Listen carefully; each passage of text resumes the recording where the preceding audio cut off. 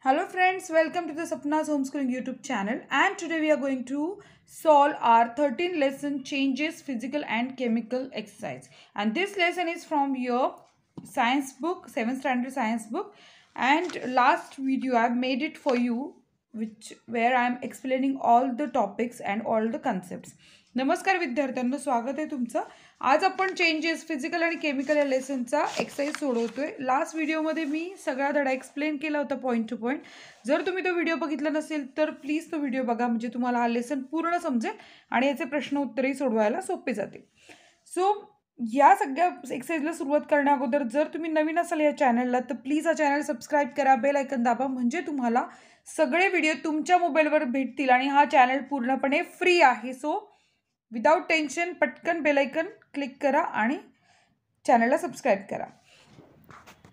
Thirtieth lesson changes physical and chemical exercise first question distinguish between the following distinguish between the following म्हणजे आपल्याला ह्याच्यामधला फरक सांगायचा आहे. First question is physical change and chemical change physical चेंजमध्ये आपण काय काय पॉईंट्स घेणार बघू आणि केमिकल चेंजचा फरक बघा. The properties of the original substances remain the same in the physical change म्हणजे पदार्थाचे मूळ गुणधर्म सारखेच राहतात. Their original composition remains unchange आणि त्यांचं मूळ कंपोजिशन आहे ते तसंच राहतं. Third the physical change are irreversible आणि हे बदल परत आपल्याला पुन्हा त्याच ठिकाणी करून आणता येत नाही. एक्झाम्पल इव्हॅपोरेशन पाण्याची एकदा वाब्ज होणे बॉइलिंग पाणी उकळणे आणि डिसोल्युशन केमिकल चेंजमध्ये बघूयात. The properties of the original substance alter in the chemical change म्हणजे मूळ पदार्थाचा गुणधर्मात बदल होतो. देअर ओरिजिनल कंपोजिशन चेंजेस त्यांचं मूळ कंपोजिशन बदलतं. And the chemical changes are irreversible example photosynthesis आणि करोजन म्हणजे परत आपण त्या पदार्थाला तसंच करू शकत नाही. त्याचा मूळ गुणधर्मातच बदल होतो. सेकंड आहे periodic change and non periodic change आता periodic change and non periodic चेंजमधला फरक बघा. पहिला चेंज आहे periodic चेंजमधला changes occurring again and again after identified interval of time are called periodic change एका विशिष्ट कालावधीनंतर बदल घडतात त्याला पिरियडिक चेंज म्हणतात.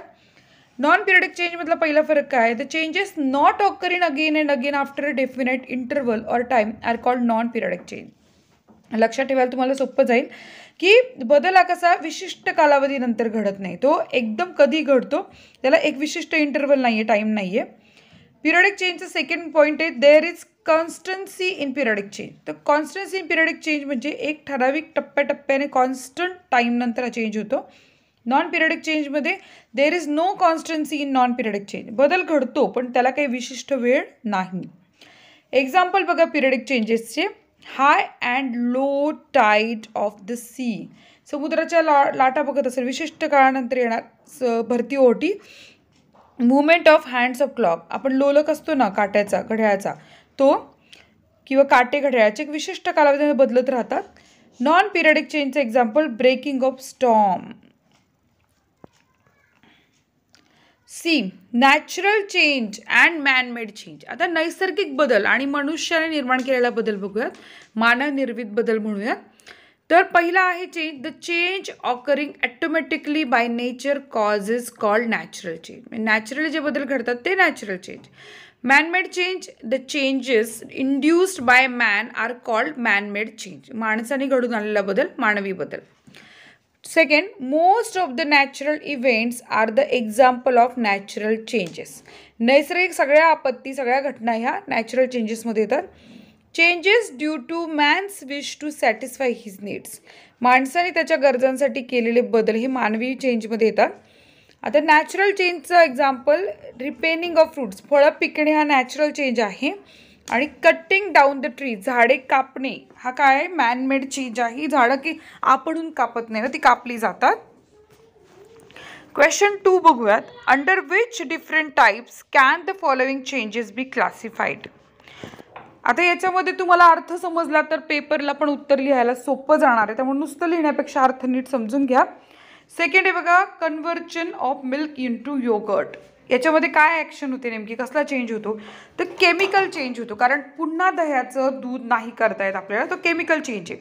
इरिव्हर्सिबल चेंज कारण तो परत बदल नाही घडून आणतो त्यामुळे इरिव्हर्सिबल चेंज आणि स्लो म्हणजे काय? हा बदल लगेच एका मिनटात घडत नाही तर थोडा सावकाश बदल घडतो. त्यामुळे याला स्लो चेंज पण म्हणतात. तिन्ही गोष्टी इथे येतील. बस्टिंग ऑफ अ क्रॅकर्स म्हणजे फटाके फुटणे. आता फटाके जेव्हा फुटतात तेव्हा केमिकल केमिकल कारण त्याच्या गुणधर्मात बदल होतो. नंतर इरिव्हर्सिबल परत फटाक्यांची आपल्याला जी राख होते त्याचे फटाके करता येत नाही. त्यामुळे तो इरिव्हर्सिबल चेंज आहे. आणि तो फास्ट होते कारण तो एका क्षणात फटाका फुटतो. तर हा जो बदल आहे तो फास्ट आहे. तिसरा आहे occurrence of an earthquake earthquake म्हणजे भूकंप होणं भूकंप येणं. तर हा बदल कसा आहे बघा? Physical chemical irreversible natural physical तर बदल आहेच आहे. परत केमिकल बदल आहे म्हणजे जेव्हा अर्थक्वेक निर्माण होतो त्यावेळेची परिस्थिती वेगळी असते. इरिव्हर्सिबल परत आपल्याला अर्थक्वेकमध्ये घडलेल्या गोष्टी परत मूळ पदावर नाही आणतात. आणि नॅचरल कारण हा नैसर्गिक आहे म्हणून. Under which different types can the following changes be classified परत आपल्याला तोच प्रश्न बघतोय. So the revolution of the earth around the sun म्हणजे सूर्याभोवती पृथ्वीची प्रदक्षिणा. तर हा पिरियडिक चेंज आहे. म्हणजे तीनशे पासष्ट किंवा तीनशे सहासष्ट दिवस लागतात पृथ्वीला एक प्रदक्षिणा पूर्ण करायला. तर हा एका विशिष्ट कालावधीनंतर होतो म्हणून हा पिरियडिक चेंज आहे. नंतर हा स्लो आहे. एका झटक्यात पृथ्वी चक्कर नाही मारत आहे. आणि हा नॅचरल आहे. त्यामुळे तिन्ही गोष्टी येतील. स्ट्रेचिंग ऑफ स्प्रिंग तर इथे फिजिकल आणि रिव्हर्सिबल चेंज आहे. पुढे आपण बघतोय. गिव्ह रिझन्स कारणे द्यायची आहेत आपल्याला. While purchasing canned food it is its expiry date should be checked आपण जेव्हा कॅन म्हणजे हवाबंद डब्यातलं अन्न विकत घेत असतो तेव्हा एक्सपायरीची जी तारीख आहे ती बघणं का गरजेचं असतं? Every can item has a limited shelf life म्हणजे प्रत्येक कॅनला एक विशिष्ट मर्यादेपर्यंतच टिकण्याची मर्यादा आहे. This is the time limit during which the food item is safe to eat आणि जेवढ्या एक्सपायरी डेटपर्यंत दिवस दिलेले असतात तेवढ्याच काळामध्ये ते अन्नपदार्थ खाण्यासाठी उपयुक्त असतात. And this is mention on the can आणि हे आपल्याला मेन्शन केलेलं असतं कॅनवरती but later after the expiry date it is over the food may not remain in good condition आणि जेव्हा तारीख उलट उलटल्यानंतर मात्र ते अन्नपदार्थ काही खाण्याच्या लायकीचे नसतात. Due to irreversible chemical changes in it आणि त्याच्यातल्या परत आपण त्याला काही बदल घडून चांगलं नाही करू शकत आहे consuming such items can harm our health. आणि अशा प्रकारचे अन्नपदार्थ खाणे आपल्या शरीरासाठी त्रासदायक आहे. Therefore while purchasing can food it is expiry date should be checked आणि अशा प्रकारचा अन्नपदार्थ खाण्यापूर्वी एक्सपायरी डेट बघणं खूप गरजेचं असतं. गिव्ह रिझन्समध्ये बी क्वेश्चन आहे and iron article should be given a coat of paint म्हणजे काय? की आयन आर्टिकल जे असतात त्यांना पेंटचं कोट का द्यायला लागतो? त्याचं कारण लिहायचं आहे and iron article rust naturally म्हणजे ते गंजतात नैसर्गिकरित्या विच इज कॉल्ड कोरोजन आणि त्यालाच आपण काय म्हणतो? गंजणे ही प्रक्रिया म्हणतो. Corrosion takes place due to oxygen आणि कशामुळे घडते? Oxygen moisture vapour of chemical in the air म्हणजे हवेतल्या मॉइश्चर वेपर आणि ऑक्सिजन यांच्या मॉइश्चरमुळे ही घडते. So corrosion makes articles weak and unusable there to to keep the iron articles in better condition should should be given a coat of paint जर आपण आपल्या घरातल्या सगळ्या लोखंडी वस्तूंना व्यवस्थित पेंट दिला तर त्या वस्तू लांबपर्यंत जगतात खूप वर्ष जग टिकतात. आणि त्या लगेच आपण नाही दिला तर त्या खराब होऊन त्या वीक होतात. त्यामुळे हे कोरोजन टाळण्यासाठी आपण पेंट देतो. नेक्स्ट क्वेश्चन आहे C a wooden article should be polished आता हे लोखंडच झालं तर वुडन आर्टिकलला पॉलिश करतात. का करतात polish a wooden is an organic substance organic substance म्हणजे काय? की तो नैसर्गिक घटक आहे तो नष्ट होणार आहे that is affected by termites मग त्याच्यावर काय वाळवी लागते? ऑर फंगस किंवा बुरशी लागते. This natural change can result into irreversible damage म्हणजे इरिव्हर्सिबल डॅमेज म्हणजे काय? तर पुन्हा आपण हे खराब झालेलं टर्माइट्स लागलेलं व बुरशी लागलेलं लाकूड नीट नाही करू शकत. So if polish is applied to such wooden articles जर आपण त्याला पॉलिश लावली या आर्टिकल्सला the rate of natural changes slow down आणि कुठलाही नैसर्गिक बदल होणारच आहे नष्ट होणारच आहे पण तो स्लो डाऊन होतो. And thus to prevent this harmful change a wooden article should be polish आणि हा विघातक बदल थांबवण्यासाठी आपल्याला त्याला काय करायला लागेल? वुडन आर्टिकलला पॉलिश करणं गरजेचं आहे. आता आपण पुढचं बघतोय. Copper and brass utensils should be tinned म्हणजे काय? की आपण तुम्हाला एक माहिती का गोष्ट? की आपण कलही करतो. ते कलही का केली जाते? कॉपर किंवा या ब्रासच्याला एक पातळ असा थर दिला जातो. तो का दिला जातो? कारण the metal like copper and brass gather a greenish layer आणि या कॉपर किंवा ब्रास हे जे असतं ना पितळ तांबं यांच्यावर एक अशी हिरवी परत येते. तर due to slow chemical change आणि कशामुळे होते? स्लो केमिकल चेंजमुळे घडते. दिस इज कोरोजन आणि हे पण कोरोजनच आहे. कोरोजन म्हणजे आपण जे म्हणतो ना की तांब लागली आहे तांब लागली आहे पदार्थाला. तर हे तोच प्रकार आहे विच हॅपन्स ड्यू टू हे कशामुळे ते ऑक्सिजन मॉइश्चर अँड वेपर्स हे पण ऑक्सिजन मॉइश्चर आणि वेपरमुळेच होतं. Chemical change in the air for the prevention of such corrosion आणि हे टाळण्यासाठी copper and brass utensils are tinned त्याच्यामुळे पितळी तांबे हे सगळ्या गोष्टींना काय केलं ते एक अशी परत लावली जाते and tinned utensils are safe for cooking आणि हे जसे कलई लावलेली भांडी ही खाण्यासाठी खूप उपयुक्त असतात. E. A dry handkerchief gets wet at once on dipping in water, but it takes long for a wet handkerchief to dry. म्हणजे काय? A dry handkerchief gets wet आता एखादा जर सुकलेला रुमाल आपण ओला केला पाण्यामध्ये बुडून पण तो सुकायला खूप वेळ लागतो.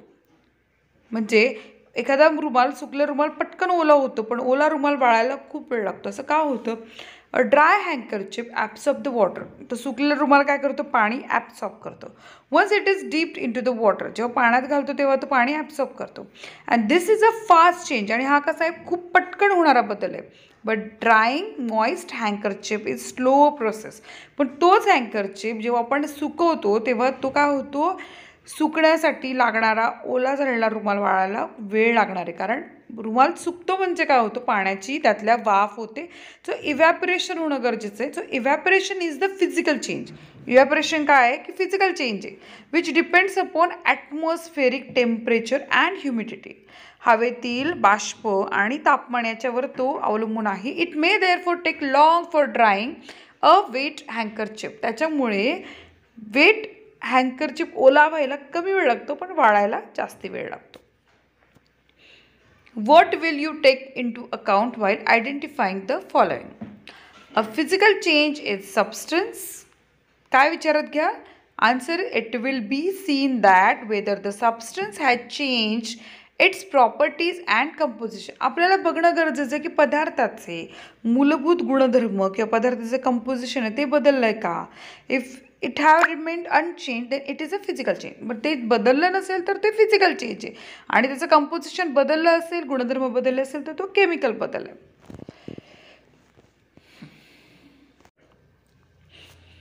बी क्वेश्चन बी आहे आपला.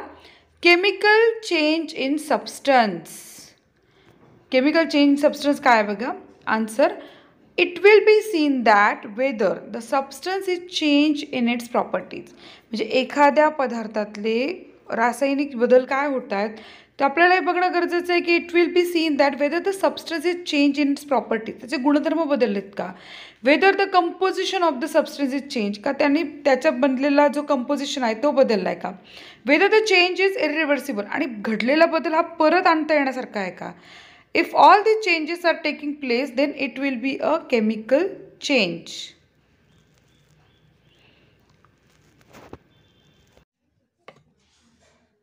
Read the paragraph and note down the various types of changes it mention. आता आपल्याला पॅराग्राफ नीट वाचायचं आहे it was nearing six o'clock in the evening संध्याकाळचे सहा वाजायला आले द सन वॉज सेटिंग सूर्य मावळतीला आलाय अ ब्रीज वॉज ब्लोईंग आणि हवा वाहतीये leaves on the tree were shaking आणि पानं हलतात झाडावरची. Sahil was sitting in the courtyard आणि साहिल कोर्टयार्डमध्ये बसलाय. Rolling ball of wet soil आणि काय करतोय तो? मातीवरती गोल गोल गोळा मातीचा गोळा तयार केला आणि फिरवतोय. And shaping them into varies toys आणि वेगळे आकार तयार करतोय त्यापासून. Then he felt hungry and त्याला भूक लागली आहे and went into the house आणि घरात जातोय. Mother made a dough from wheat flour and fried puris आई पिठाचे गोळे तयार करते आणि त्यापासून पुऱ्या तळते. Well eating hot puris his attention was drawn outside the window त्यांनी पुऱ्या खाताना त्याचं लक्ष कुठे जाते खिडकी बाहेर जाते इट हॅड स्टार्टेड रेनिंग आणि लगेच पाऊस चालू झालाय. देअर वॉज लाईटनिंग आणि तिथे विजाई चमकल्यात Sahil was enjoying his dinner in the dim light आणि त्या मंद प्रकाशामध्ये साहिल त्याच्या जेवणाचा खूप आनंद घेतो आहे आता हा अख्खा पॅराग्राफ आहे. सगळा पॅराग्राफ मी एक्सप्लेन केला आता आपल्याला काय करायचं आहे आपल्याला वेगवेगळ्या प्रकारचे बदल जे घडले ते इथे मेन्शन करायचे आता आपण याचं उत्तर बघूयात. Will start it from first line it was nearing six o'clock in the evening हा टाईम रिव्हर्सिबल पिरियडिक आहे. टाईम रिव्हर्सिबल आहे. परत संध्याकाळ येणार आहे परत संध्याकाळ येणार आहे. आणि हा वेळेनंतर विशिष्ट वेळेनंतर संध्याकाळ आहे त्यामुळे पिरियडिक आहे. रिव्हर्सिबल आहे. द सन वॉज सेटिंग हा पिरियडिक आहे रिव्हर्सिबल आहे. A breeze was blowing blowing of wind physical आहे नॉन पिरियडिक आहे. का विशिष्ट वेळेलाच हवा वाहत नाही तर कधी पण वाहते. Leaves on the trees were shaking झाडाची पानं हलतायत. हे काय आहे? Leaves on the trees were shaking movement due to wind physical आहे पिरियडिक आहे. Next Sahil was sitting in the court yard rolling ball of wet soil and shaping them into various toys आकार देतोय तो वेगवेगळे बॉलला गोलाकार फिरून. So making toys of soil physical आहे त्याची फिजिकल ॲक्टिव्हिटी नंतर आपण पाहतोय then he felt hungry and went into the house याला भूक लागते आणि तो घरात जातोय. सो हंगर ही पिरियडिक आहे. आपल्याला सकाळी दुपार संध्याकाळ भूक लागते विशिष्ट वेळेनंतर. Mother made a dough from wheat flour and fried puris हे काय फ्राईंग इज फिजिकल पण इरिव्हर्सिबल आहे. कारण आपण परत पुऱ्यांचं पीठ नाही करू शकत आहे.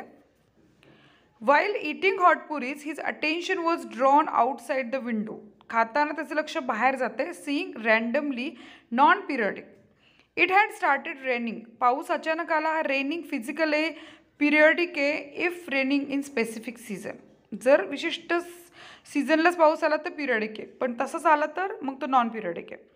There was lightning lightning is a physical एक केमिकल आणि फास्ट घडणारी प्रक्रिया आहे. तर अशा प्रकारे आपण अख्खे प्रश्न उत्तरं बघितलेत आणि सगळ्यांची उत्तरं व्यवस्थित लिहिलेली आहे. सो हा व्हिडिओ आवडला असेल तर नक्की लाईक करा शेअर करा कमेंट करा आणि सपनाज होमस्कूलिंग चॅनलला सबस्क्राईब करा. भेटूयात नेक्स्ट व्हिडिओमध्ये तोपर्यंत बाय बाय